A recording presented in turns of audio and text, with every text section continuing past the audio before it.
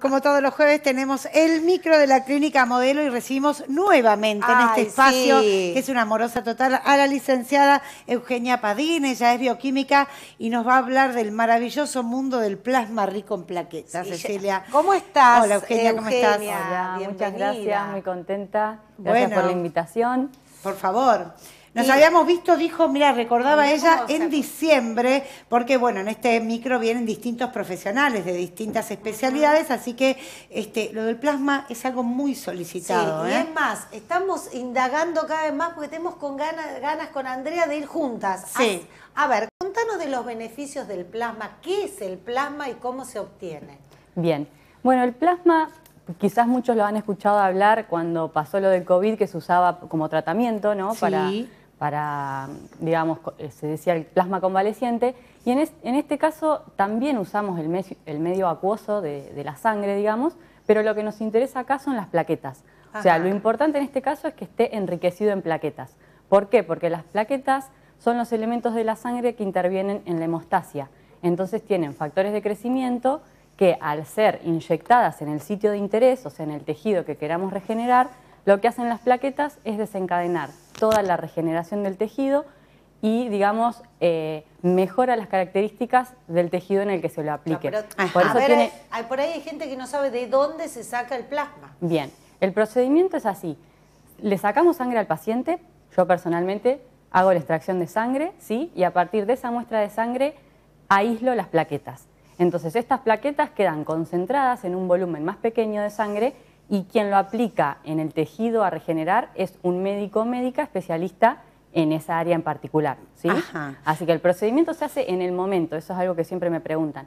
En el momento que yo saco la sangre y preparo el plasma rico en plaquetas, enseguida es que se aplica en el tejido. Puede ser una articulación, puede Claro. ser en la Vamos piel, con eso, con las, ser- con las claro. especialidades, porque bueno, digamos, tienen, tienen muchas bondades. ¿Para qué se puede utilizar? Sí, totalmente. Se puede utilizar siempre que se requiera un estímulo de regeneración. Por eso hablamos de medicina regenerativa.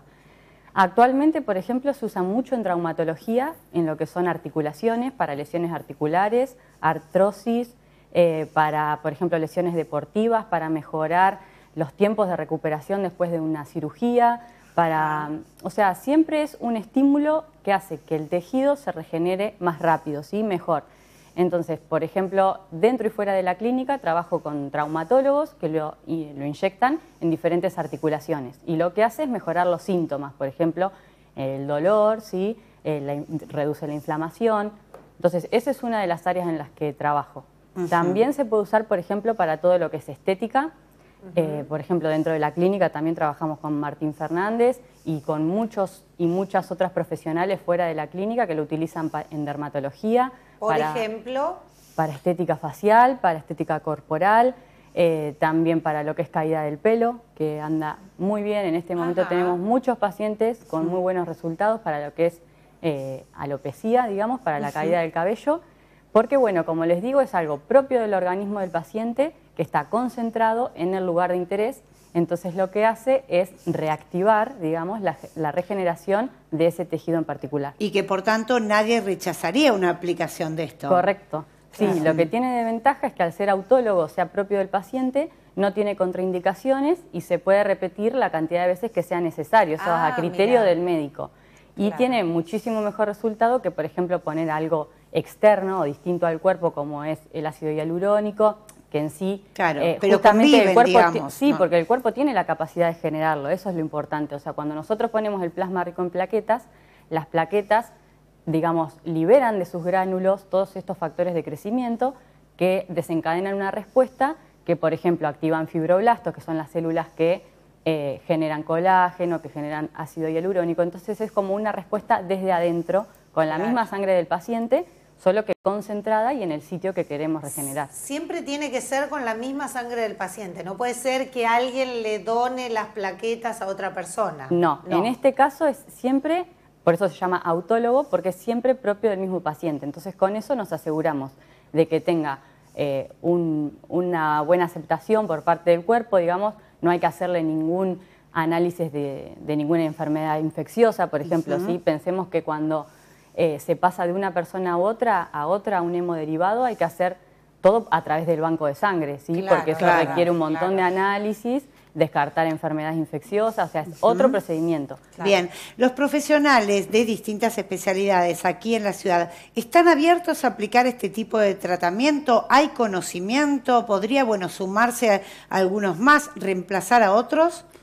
Por supuesto, esto es como que depende de las ganas de innovar que tenga cada profesional, de probar una herramienta nueva.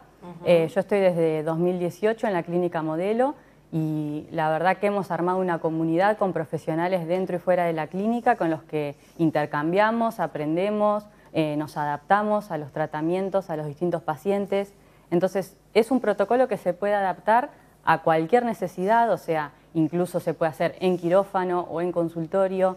Así que el, lo que el mensaje que yo les quiero dar a todos los profesionales es que se acerquen, que pregunten eh, para trabajar en equipo y para poder brindar esta herramienta, que es una herramienta más dentro de un tratamiento global, ¿no? Eh, es una herramienta que podemos utilizar y que es simple con una extracción de sangre, ponerle al paciente lo mejor que le podemos poner, que es su propia sangre, sus propias plaquetas y sus factores de crecimiento. Ahora, Eugenia, vamos a recordar que estamos dialogando con la licenciada Eugenia Padín.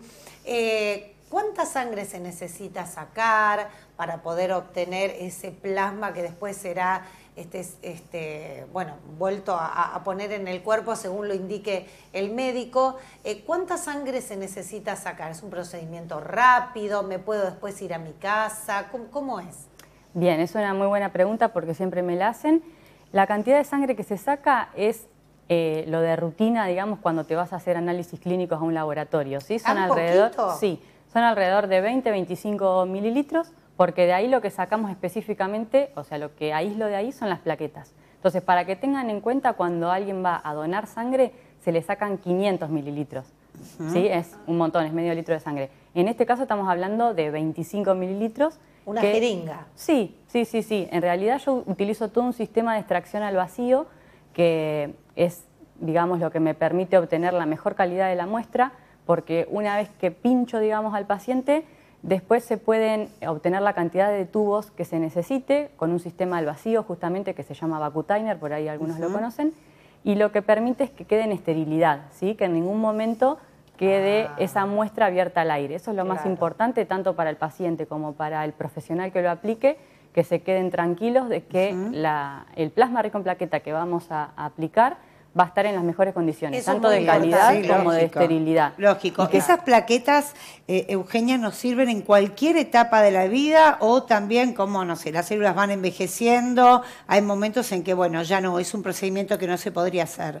No, esto se puede hacer en cualquier momento de la vida porque las plaquetas eh, se van generando todo el tiempo, si de hecho tienen una vida media de 120 días, así que todo el tiempo estamos generando plaquetas nuevas, pero sí el requisito digamos, para que el paciente se lo pueda hacer o la paciente, es que tenga un recuento de plaquetas normales y un recuento de glóbulos rojos normales. ¿sí? Claro. Eso es la, primera evaluación que hacemos, que tenga un hemograma normal, por así decirlo, para que después justamente podamos extraer plaquetas de la muestra de sangre y que al sacarle sangre no sea una persona que, por ejemplo, esté anémica o que tenga alguna otra patología de base que la vaya a complicar, ¿sí? A pesar de que es una cantidad eh, digamos, pequeña de sangre que sacamos, pero mm. Siempre la evaluación la hace el médico o médica inicialmente dentro de todo el tratamiento que está realizando a su criterio, ¿sí? Y después por lo que nos decís, si solo es como irte a sacar sangre para hacerte un estudio, que es nada, un segundito, eh, después la aplicación también supongo que será rápida. Sí, totalmente. Todo el, procedimiento lleva alrededor de una hora, ¿sí? desde el momento que yo saco sangre, eh, proceso esa muestra, se la enviamos al médico o médica para que lo aplique, así que es un procedimiento relativamente sencillo y puede el paciente o la paciente hacer vida normal. Por supuesto, con las indicaciones que requiere cada caso, ¿no? Una infiltración de articulación tendrá que hacer un reposo, si es eh, algo inyectado por mesoterapia en cara se tendrá que cuidar del sol. O sea, cada profesional, cada médico o médica va a dar las indicaciones para el, post-tratamiento, digamos. ¿Y hay algún requisito previo, digamos, a la extracción de sangre? Digo, pensando y haciendo este paralelismo, vos decías a los análisis clínicos, bueno, que hay que guardar ayuno, etcétera, etcétera. ¿En este caso es necesario...?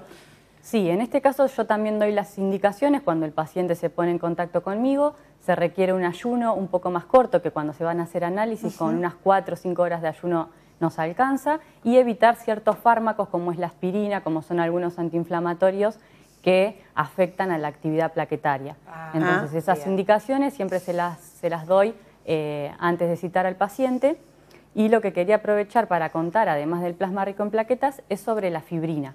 A ¿Qué- ver, a qué ver. es eso? A ver. Fibrina. Bien, este es otro material, otro hemoderivado. ¿Que lo ¿sí? tenemos nosotros también? Exactamente, Ah, sí. mira. Se obtiene ¿Cómo vamos también-? Es que el cuerpo es maravilloso y se, Sí. se autoconstruye. Totalmente. Sí. O sea, lo bueno de todo esto es que justamente estamos sacando materiales que ya tenemos dentro de nuestro cuerpo y lo estamos utilizando puntualmente en el lugar que, que necesitamos regenerar. ¿Qué es la fibrina? La fibrina es como un coágulo de proteínas que también está enriquecida en plaquetas y en leucocitos y lo que tiene de particular es que es sólido, ¿sí? Imagínense como un coágulo, como una gelatina. Sí. Entonces, esto se puede utilizar como membrana biológica o como relleno, por ejemplo, en odontología, ¿sí? Vieron que muchas veces Ajá, hay que, no sé, para hacerse un, un claro. implante, hay que regenerar hueso o rellenar alguna cavidad que se hizo una extracción, ¿sí? En ese caso, eh, la fibrina se puede utilizar como carrier, se llama, o sea, como vehículo para poner sustituto óseo o para poner otros materiales que utilizan los mirá. odontólogos y odontólogas. ¿Y cómo Qué se bueno. saca? ¿Cómo se obtiene la fibrina del cuerpo? También se obtiene a través de una extracción de sangre común y corriente. Ajá. Luego lo que varía es el, proces- el procesamiento que yo hago. Claro. ¿sí? Digamos, la parte de laboratorio es para yo obtener